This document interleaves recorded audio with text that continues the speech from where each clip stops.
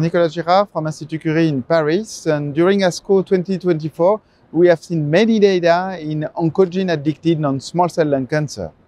First, in the EGFR common mutation setting, we have seen updates of the Mariposa trial, but of more importance, two studies we're looking at amivantamab with a subcutaneous formulation, one phase 3 study, Paloma 3,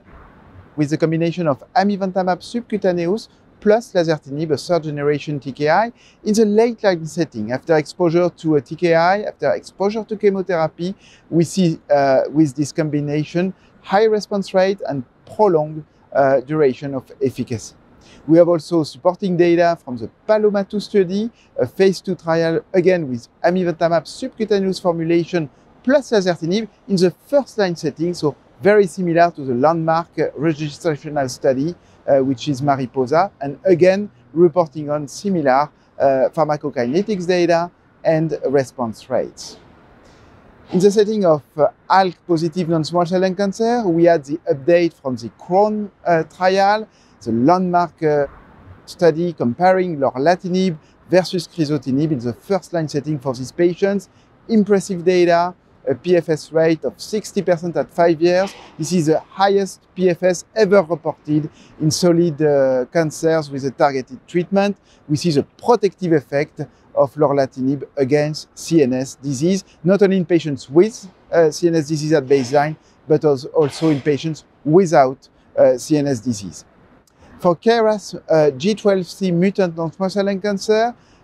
results from the study with adagrasib in the second line setting versus docetaxel, a positive study in terms of progression-free survival and the safety profile of adagrasib was uh, manageable in this uh, cohort of patients. Finally, for HER2 positive non-small cell lung cancer, we saw the data with uh, BA2927088, a TKI targeting uh,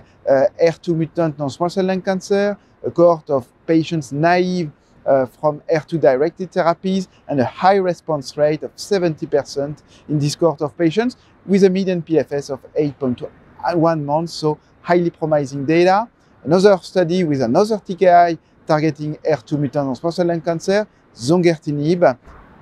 pan uh, uh, tumor cohort with some NSCLC patients with a lower, lower response rate and uh, data that need uh, to mature in terms of uh, follow-up. So many data in those subset of non-small cell lung cancer, we see how can improve the outcomes of patients with those targeted agents, both in the late line setting and in the first line setting, alone or in combinations with other uh, agents.